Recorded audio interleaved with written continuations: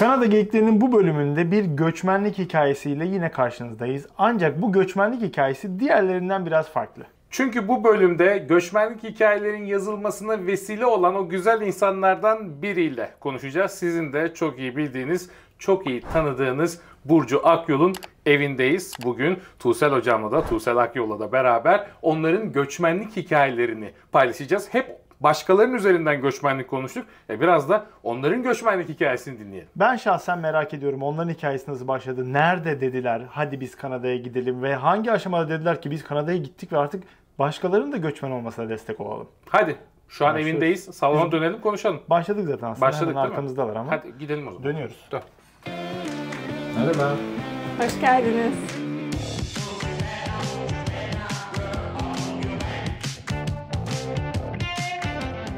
Şimdi öncelikle biraz sohbete geçmeden önce ev hakkında da konuşmak istiyorum. Neredeyiz şu an? Toronto'nun neresindeyiz? Thornhill. Thornhill'deyiz yani kuzeydeyiz değil mi? Evet. Burası kaç artı kaç bir townhouse?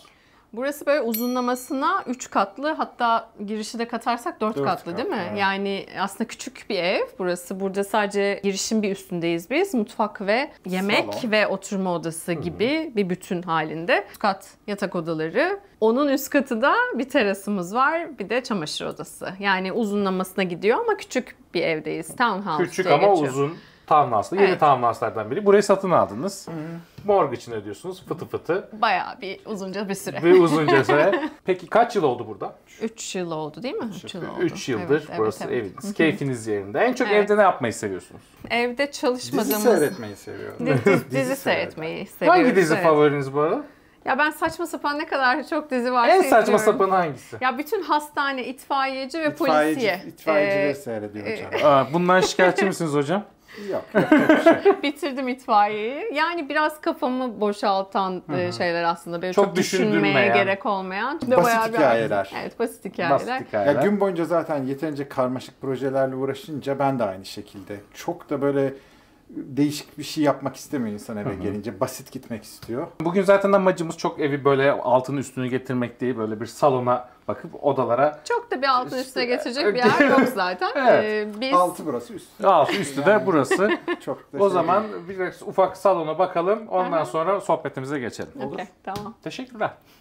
Biz tabii biraz eve ışık getirdik. Ben loş ışık severim ama tabii kamerada net gözükmesi için biz ışıklarımızı Evet. kurduk. Biraz aydınlık oldu. E- ev, şu an en aydınlık zamanını yaşıyor bence. İşte aydınlık gelecekler için anlatacak da ben de yok.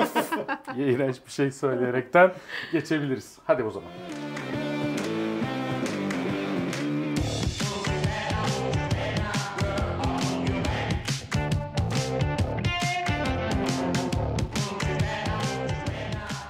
Burcu direkt ilk sorumla başlıyorum. Kanada'ya gelme fikri önce kimden çıktı? Birlikte diyebilirim. Yani biz her birkaç senede bir böyle e gitsek mi derdik. Bu da Kanada olurdu çünkü Tuğsel'in kız kardeşi bizden çok daha önce gelip yerleşti buraya. O yüzden aslında e, şey belliydi. Hani gidersek gideceğimiz yer belliydi. O birkaç senede bir böyle hadi kalkın gidiyoruz e, ailece demelerimiz 2016 yılında artık aksiyon almayla sonuçlandı diyebilirim. Tuğsel olarak oturdunuz tek başınıza böyle hani tabii bu aileyle verilen bir karar biliyorum ama muhakkak oturmuşsunuzdur. Böyle bir düşünmüşsünüzdür. Neden Kanada'ya gelmeye karar verdiniz ve Türkiye'de ne yapıyordunuz öncesinde? Onu da bir sorayım. Bunu ben sıklıkla düşünüyorum. Yani ben bu bu noktaya nasıl geldim? Çünkü yaşım 44'tü bu kararı verdiğimde. Hep söylüyoruz ya hani yaş gençken daha kolay bazı şeyleri değiştirebiliyorsun. Bir bavulu toplayıp gidebiliyorsun. Ama hani bir 40 yaşının üstüne çıktığın zaman hani riske attığın şeyler çok fazla. Kaybedebileceklerin çok fazla yanlış bir karar verdiğinde. Ve hani göçmenlik de böyle taşın ayağını kaldırmadan diğer taşa basmanın imkanı yok. Böyle bir havada kaldığın bir süre var. Çünkü ciddi bir risk alma aslında bu. Ona rağmen hani bir planlama yaptık tabii ki. Düzgün bir planlama yaptık ve o plan doğrultusunda adım adım olayı bir yere getirdik. O plan o plana geçmeden öncesini sorayım o zaman. Ne yapıyordunuz Türkiye'de? Neyi risk ettiniz? Ne bıraktınız? 40 yaşını geçince işte bir Kurul düzenin var. Bir düzenin oluyor, bir evin oluyor, bir araban oluyor. işte bir işin oluyor. Kendi kurduğum bir şirketim vardı. Hani o şirketin içinde bir kişi çalışıyordu ama hani yine de bir şirketti o. şirketimdi ya o. yani iyi de performans firması vardı. Mutluydum yani. Ne hani yapıyordu şirket? Zaman. Eğitim danışmanlık firmasıydı. Farklı sektörlerdeki şirketlere e, eğitim hizmetleri veriyordu. Eğitim veriyordum yani. Evet. İşte kişisel gelişim, liderlik eğitimleri falan. Onu kapattım mesela. Onu ben 4 sene büyütmüştüm. Biliyorsunuz siz de hani bir startup'ı nasıl başlatıyorsun, hani ne kadar emek veriyorsun. Bir yere gelmişti. Çok da mutluydum aslında. Onu böyle hani sebepsiz yere hani işsel anlamda sebepsiz yere böyle iyi gidiyorken kapatmak aslında o bir acı.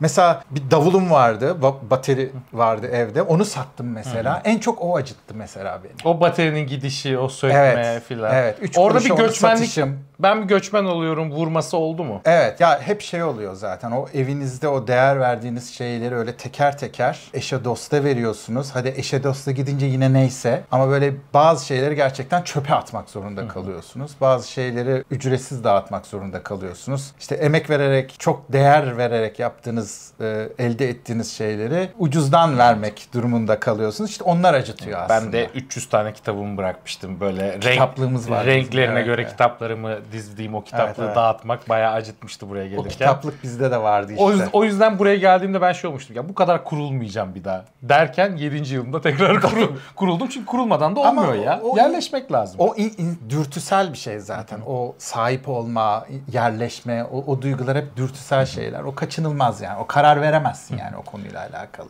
Peki Kanada'ya gelmeden önce kariyerinizi bir yere getirdiniz. En son buraya bütün gemileri yakmadan önce, en son buraya gelmeden önce hangi seviyede ne işler yapıyordunuz? Ben çok uzun yıllar eğitim sektöründe çalıştım ve bunun çok büyük bölümü özel okulculuk. İngilizce öğretmenliğiyle başladığım kariyerimde daha sonra yabancı diller koordinatörlüğü, daha sonra da ilkokul müdürlüğü şeklinde devam etti. Keyifli güzel yıllardı. Çok güzel andığım, çok çok çok güzel dostluklar kurduğum güzel zamanlardı. Ama tabii kolay bir sektör değil Türkiye'de özel okulculuk. Tam da aslında bir değişim zamanı mı dediğim zamanlar göç etme kararı aldık aslında. Yani eğitim sektöründe devam etmeyebilirdim ya da başka bir kademesine geçebilirdim belki de. Hala da düşünüyorum acaba gelmeseydik şu anda ne yapıyor olurdum diye. Tabii kim bilir bilemezsiniz ama tam zamanlı bir değişim oldu bizim için. Kimi insana göre geç bir değişim oldu. Kararımızı çok çılgın bulan insanlar oldu çevremizde. Çılgındı da aslında. Bence yani... de çılgın bir karar ya. Evet. Böyle hani her şey yolunda giderken bir şeyleri bırakıp tekrar sıfırdan hadi başlayalım demek bence çılgın, çok bold ve hani cesaret gerektiren bir şey yani.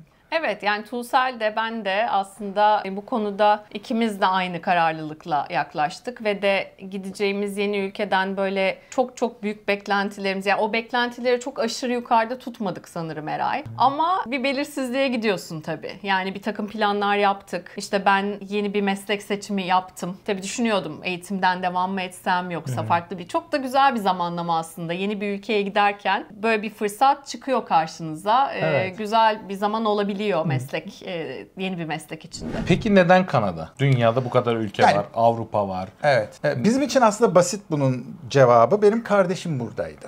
kardeşim işte bizim gelmemizden böyle bir 10 sene, 10 küsür sene önce buraya gelmişti eşiyle birlikte. Onların açtığı yoldan aslında gideriz. En azından bize destek olurlar, yardımcı olurlar. İşte gittiğimiz zaman biraz evlerinde kalırız kafasıyla Toronto'ya gidiyoruz dedik zaten ilk noktada. Başka bir şey de hiç düşünmedik. Peki hangi noktada böyle Tuğsel hocamla birlikte birbirinize baktınız ve tamam hadi artık bu aksiyonu alalım, hadi artık buradan gidelim ve Kanada'ya taşınalım dediniz? Zaman zaman tabii böyle bir bizi ülkemizde mutsuz eden bir takım şeyler yani hepimizin her zaman oluyor. Her ülkede oluyor aslında ama Evet.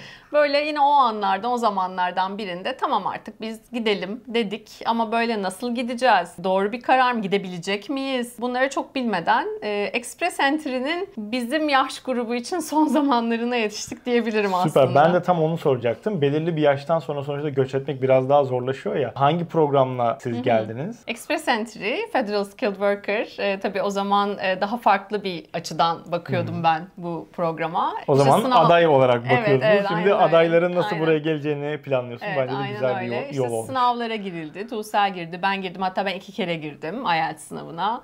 İşte Tuğsel'in kız kardeşinin burada olması bize bir puan getirdi. O zaman daha düşük puan getiriyordu ama biz işte o dönemin 434 puanıyla e, havuza girdik ve de e, çıktık. Biraz köprüden önceki son çıkış gibiymiş. Çünkü sonra uzunca bir süre o kadar puanlar düşmedi. O bateri satıldı. Birine yar oldu. Şimdi pıt pıt o çalıyor büyük ihtimalle. Evet. Kim bilir nerede? Hangi grubun üyesi ya da kim çalmıyor belki de depoya kaldırıldı. Ama Falan diye üzücü bir Ama dur ama dur bak ne yaptım? Ne yaptın? Buraya geldim. Bir gün 2-3 sene önce böyle bir marketplace'te dolaşıyorum. Bir baktım benim davulun aynısı. Aynısı. Aynısı. Onu da satan Hani birebir- kişi Türkiye'ye göçmen gitmiş. Meğerse Gidiyormuş falan diye böyle Değil, saçma değil. sapan bir hikaye değil. Hocam Türk filmi tamam yaptıracağım. olsun. Heyecanlanıyorum böyle şeyler olursa. Baktım biliyorsun burada çok ucuz ikinci eller. Hani yine ayıptır söylemesi ama laf aramızda 400 dolar. Dedim yani bunu almalıyım ve Burcu'ya hemen söyledim.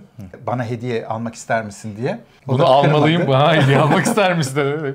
Gittik aldık. Ve şu anda yukarıda Yukarı görebilir miyiz? Olur. Bir Tabii, bakalım olmasın? kadar Tabii. 400 dolara ne var falan diye. Aa, piyasada. güzel bak müzisyenler ilgilenebilir bundan. Bence de. Peki ilk geldiniz Kanada'ya. Ne hissettin hocam Kanada'ya ilk geldiğinde? Toronto'ya indin. Ha, Yeni bir hayat başlıyor. Ben de bir şey vardır. Böyle bir risk taker'lık. Yani risk almayı seviyorum. Ama hani Burcu da bilir hesaplamayı da seviyorum. Yani hesaplamadan böyle bir şey yapmayı da sevmem. Hesaplı risk risk midir? falan diye böyle bir- Değildir. İlerlemedir.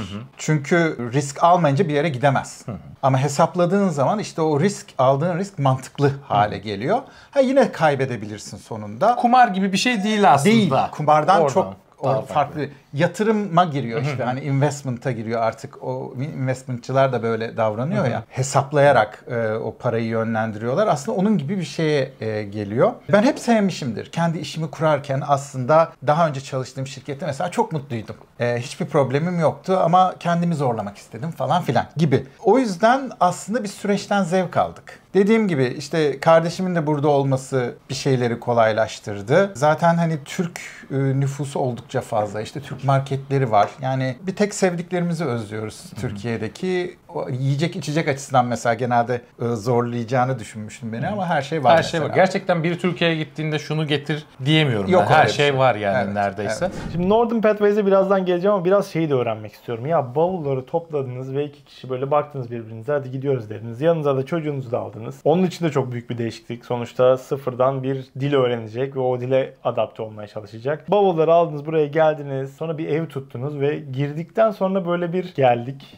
Ve şimdi oyun başlıyor gibi böyle o histe kaygı var mıydı yoksa ya ben burada bir şeyler yapacağım hissiyle mi geldiniz yoksa bakalım neler olacak gibi bir şeyle mi geldin? Ben burada bir şeyler yapacağım hissinden ziyade kaygıyla karışık heyecan ve mutluluk vardı. Çünkü bir yenilik ve bu yeniliğe hayatındaki en çok sevdiğin insanlarla, ailenle başlıyorsun. Ama bir şeyler de geride kalmış. Önünde ne olduğu çok belli değil. Hedefler var, istekler var ama ne olacak, ne getirecek zaman o belli değil. O yüzden en güzel ifadesiyle herhalde kaygıyla karışık heyecan ve mutluluk diyebilirim. Ne iş yaptınız buraya geldikten sonra? Buraya hani şu anki yeniden şirket kurduğunuz döneme kadar ne yaptınız? Yani gelirken en büyük soru işareti oydu benim için. Yani işsiz güçsüz geldim. Yani 44 yaşında işsiz güçsüz bir yere gitmek büyük risk.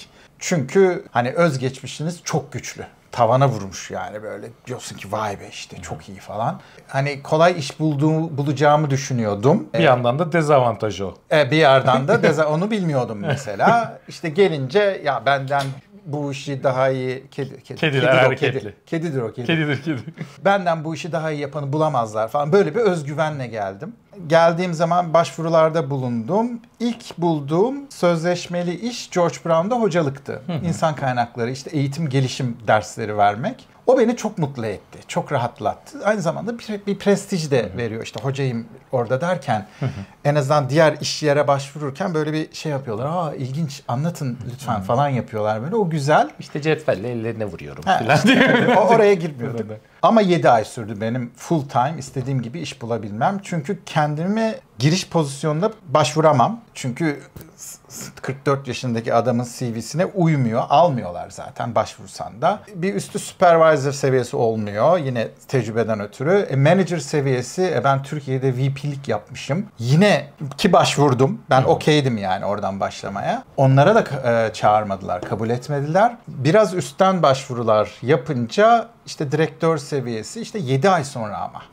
Çünkü ona da şey düşünüyor. Yani neden Tuğsel'i alayım ki hiç Kanada tecrübesi Evet. yok. Tamam çok acayip işler yapmış ama Kanada tecrübesi yok. Niye riski atayım diyor. Göçmenlik yolunda artık bütün adımları geçtiğin için çok daha iyi öğrendin ve sonrasında da bir karar alıp sen dedin ki ya ben bu işi artık professional olarak başka insanlar için yapmak istiyorum ve o sırada Northern Pathways kuruldu. Seni o aşamaya getiren şeyler neydi? Sen ne zaman ya ben bir göçmen olarak başka göçmenlerin de hikayesine dokunacağım dediğin şey neydi? Seni oraya iten şey neydi? Aslında kendi sürecim devam ederken buna karar verdim. Yani e, o planlamalar Kanada'ya gelmeden önce başladı. Hatta o dönem şu anda tek bir okul Queen's Üniversitesi veriyor ama Humber College bu okullardan biriydi. Kaydımı yaptırdım. Daha PR'ımız dahi çıkmadan, daha başvurumuz sonuçlanmadan kaydımı yaptırdım. Online derslere başladım. Sonra geldik ve hani bir kısmı yüz yüze bir kısmı online programa devam ettim. Yani işte kendi sürecim devam ederken aldığım ilham diyebilirim e, bu süreçten ve de çok güzel bir şey insanların bu dönemine tanıklık edebilmek ve buna vesile olabilmek. Bir de hani kendin de o süreçten geçince çok daha farklı yaklaşabiliyorsun olaya. Şey gibi oluyor değil mi? Ya ben PR onayı aldığımdaki o aldığım bir kerelik heyecanı sürekli birilerine PR onayı aldıklarını verirken ki hissiyat da sanki hep çok yaşıyoruz. değil mi? Evet, çok evet, güzel hep oluyor. yaşıyoruz ve inan Eray kendiminkinden farklı yaşamıyorum. Yani aynı çok mutlulukla yaşıyorum. Ama hani benimki de böyle çok farklı bir hikaye değil. Bizim göçmenlik danışmanlarının çoğuna sorsan pek çoğu da aynı süreçlerden geçmiş e, insanlar. Genelde böyle bir ilhamla başlıyor olay eğer hani göçmen olarak bu ülkeye geldiyse. En çok ne zorladı? İş bulmak hocam. İş bulmak. Yani işin o tarafı beni benim için. Burcu için öyle değil. O zaten söylüyor. Benim için öyleydi. Peki işte ev mev, Kanada'ya alışmak filan buralarda bir zorluk var mı? Ben yaşamadım. Pek çok YouTube videosu da seyrediyoruz. Ee, herkes kendi tecrübesini anlatıyor Tabii. tabii. ki. Orada onu yaşadığını söyleyenler oluyor. Ben şahsen yaşamadım. bir çocukla buraya gelmek. Yani çocuğum için iyi bir karar veriyorum mu, vermiyor muyum? Onu da yolda göreceksin ya sonuçta. Hani o kısımda bir kaygılandığın bir şey var mıydı? Hani sonuçta atanın buraya Evet. gelmesi onun çok büyük bir geleceğinin değişmesi anlamına geliyor. Nasıl oldu? Bir anne olarak buraya gelmek hani çocuğuma daha iyi bir gelecek veririm hissi gerçekten geldi mi buraya geldikten sonra? Yani o kaygıların tabii büyük bölümü çocuğuyla ilgili oluyor insanın. Ee, 12 yaşındaydı hatta buraya geldiğimizde ortaokuldaydı. Ve de ilk gününü mesela hiç unutmuyorum. Tuğsel'le birlikte ilk gün okuldan çıkmasını bir kafede beklemiştik okulun dışındaki. Çok tatlı. Okul bittiğinde arayıp anne ben arkadaşlarımla basket oynayacağım demesiyle benim ağlamam Ya sen ne ara geldin buraya da basketbol arkadaşı buldun? Evet yani çünkü insan kaygılanıyor. İngilizce konuşabilecek mi? Kendini ifade edebilecek mi? Sosyalleşebilecek mi? Ki hani e, hatta çok da bence komik bir e, anekdot var. Atayı ilkokula bıraktık. Sabah şeyde bekliyoruz o kapının orada içeride. Müdür yardımcısı geldi. Burada durmanız garip yalnız dedi. Dışarı alayım ben sizi. Ki ben de okul müdürü olduğum zamanlarda velilerimizi kibarca dışarı dışarıda beklemeye davet ettiğim zamanlar çok olmuştur. Daha o zaman epey bir gülmüştüm buna. Heyecanlıydı ilk zamanlar. Neyse ki e, alıştı. Hatta ben şimdi görüştüğüm insanlara çocuklarıyla ilgili endişelerini dile getirdiklerinde siz kendinizi düşünün. Onlar çok çabuk adapte oluyorlar diyorum ki genelde de öyle oluyor. Öyle oluyor evet. Kanada'da şu şu şu çok saçma sapan. Trudeau. ya yakışıklı adam. İşte YouTube'da başbakanı eleştirebiliyoruz. Neden Kanada? Neden Trudeau saçma sapan bir şey? Şimdi Trudeau'nun aslında felsefesini seviyoruz. Yani ben aslında hani liberal düşünceli bir adamım. Hani dolayısıyla oyumuzu da e, o tarafa doğru verdik. Ama bürokrasiyi çok güçlendirdi. Negatif anlamda söylüyorum bunu. Yani iş yapış süreçlerinin daha hızlı olması lazım. Yani çok konuşma oluyor ama execution dediğimiz işte uygulamaya Uygulamada geçerken. E, zaten hani bugünkü bu e, konut krizi orada kaynak oradan kaynaklı. İşte bir metro istasyonunun 20 senede yapılması işte sebebi bu. Sistemler birbirlerini bazen fazla mı kontrol ediyorlar veya fazla şeyler kontrol mü ediliyor? E, İşte ondan ediliyor mu? Çok da emin değilim. Da Hani işte ya orada daha iyi yönetilmesi lazım. Daha iyi bir yönetim Öyle olabilir. Peki yani. Kanada'da şu şu süper. İyi ki buradayım. Yine farklı düşünenler var ama ben insanları seviyorum. Kültürü seviyorum. Kucaklayıcı kültür. Ben e, hani o nezaket, dışarı çıktığınızdaki insanlarla olan diyaloğunuz bazen Türk kültüründeki gibi samimi olamayabiliyor. Yüzde seksen diyebiliriz buna. Samimi olamayabiliyor ama olsun. Fazla samimiyetle iyi değil zaten diye düşünüyorsun Yani sen. be- onu o kadarını da belki beklemiyoruz ama hani bir Türk olarak yine bekliyorsun bir şeyler o samimiyeti. Yani şöyle şu samimiyette bir Kanadalı ile konuşmak belki bir 10 sene alır. Evet. Değil mi? Ama hani bir Türk'le tanışırsın belki bir 3 saat sonra şu samimiyeti yakalayabilirsin o kişiyle gibi düşün. Burcu Kanada'ya geldin. Göçmensin ve bir noktada dedin ki ben bir girişimci olacağım. Ne oldu da o girişimcilik kısmında sen dedin ki ya ben girişimci de olacağım. Bu ülkeye geldim göçmenim bir de girişimci olacağım. Bu işi de çok iyi yaparım noktası. Ya aslına bakarsan Eray şimdi bir lisans alıyorsun, eline bir yetki alıyorsun ve de bunu bir şekilde bir yerde icra etmen lazım. E bu iki türlü oluyor. Ya kendi şirketini kuracaksın ya da başka bir kişinin çatısı altında bunu yapacaksın. İkincisini tercih etmedim çünkü bunu yeterince yaptım sanırım ben hayatımda. O yüzden artık farklı bir noktadayım zihinsel açıdan E, ve de bunun zamanı olduğunu düşündüm ve de kendi işimi kurmaya karar verdim. Sen bayağı Tumsel'e- Voltron'u oluşturdun. Yani bir göçmen olarak geldin. Sonra göçmenlik danışman için lisansını aldın. insanlara yardımcı oldun. Bir de üzerine göçmenlik danışmanlığı yapacak insanların hocalığını da yapmaya Evet, başladın. evet, evet, evet. Herhalde O- göçmenlik bakanlığına kadar gideceksin diye Yok. ben, ben burada Fransızca bekliyorum. bilmen gerekiyor sanırım. O bende yok. ben sadece şu an motive ediyorum insanları Fransızca öğrenmeleri için. Benden çıkmaz. Bende yok. Benden çıkmaz. Ee, ama evet öyle güzel bir gelişme oldu hayatımda bu sene. Çok gurur duyuyorum bununla. Çok keyifle yapıyorum. Bir gün Türkiye'de her şey hayal ettiğim gibi oldu. Ben Türkiye'de hayatıma devam ederim. Burayı da bırakır giderim der misiniz? Türkiye'yi ben çok seviyorum. Yani bir gün dönmek iyi bir fikir olabilir. Bataryayı Ee, satar mısın diye. Alırız oradan. Oradan alırız. Arayıp O buluyor musun arkadaşı onu? bulacağım. Şu anda bizi Aynen izliyor. Bizi izliyorsa o bizi- bataryayı alan kişi. Hocam Yüz yüze geldiniz çok değil canımı mi? yaktın ya. Öyle değil. ya. Emeklilikte dönülebilir. Ama öyle memlekete küsmek gibi bir şey yok bizde. Gururla temsil ediyoruz ülkemizi buralarda da. Çok olayı romantize etmeye de gerek yok bence. Çünkü mesela işte Yunanistan'da 10 milyon Yunanlı yaşıyor. 5 milyon Yunanlı Yunanistan dışında yaşıyor. Evet. Yani burada her, her yerde mahalleleri var Evet. neredeyse ve Çin aynı şekilde. Mesela bu neyi sağlıyor? Lobiciliği sağlıyor. Ve bu şekilde aslında ülkenin politikası rahatlıyor. Mesela Türkiye'nin bunu daha iyi yapabiliyor olması lazım. O yüzden yurt dışında yaşayan Türklerin artması iyi bir şey. biraz buradan bu mentalitenin de oturması gerektiğini de söylemek lazım. Çünkü bazen videolarımızın altına yorum geliyor. İşte ülkenizi bırakmışsınız, Türkiye'ye gitmişsiniz. Aynen. Herkes Türkiye'yi terk ederse Türkiye'de kim kalacak? Ne yapacak? Ya hani bir zaten bu kadar göç eden insan bazı şeyleri hani Türkiye'de değiştiremez. Yani ben yarın dönecek ve Türkiye benim sayemde değişecekse tamam döneyim ama biz gerçekten dediğiniz gibi burada da bambaşka kafalar açıyoruz. Başka yerlere ulaşıyoruz. Burada dediğiniz çok gibi güzel bir lobicilik Türk-Türk birlikteliği var. yaşanıyor Ee, gibi. İşte deprem süresince bir sürü şeyler yapıldı. Yani bir e, Yunan lobisi gibi, e, bir diğer lobiler gibi olamıyoruz. Bence biz biraz çatışmacı bir e, toplumuz. Yani Ayrılmayı falan da seviyoruz hemen biraz. çatışma yönetimini beceremiyoruz. Yani farklı fikirlerin aslında zenginlik olduğunu unutuyoruz. Bilmiyor değiliz. Unutuyoruz tartışırken. Fikir çatışması bir anda kişisel çatışma, ego çatışmasına dönüyor.